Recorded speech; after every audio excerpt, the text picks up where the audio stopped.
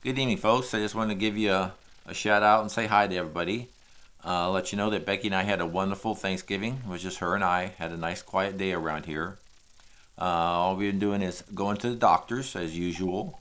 I had to go to the dentist today, so laying on their chair really puts a hurt on my back since I've had so much back problems. And a word of caution if you have a good back, please keep it. Don't ruin your back because it can affect your life forever.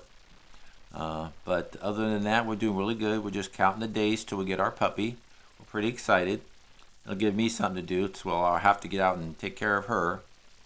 So uh, don't have much to say. So if you have any comments, please leave them in the comment section. Uh, follow us on Instagram. If you could, please leave us a thumbs up and share this video with everybody you know. You all have a great night, and uh, we'll talk to you soon. Goodbye.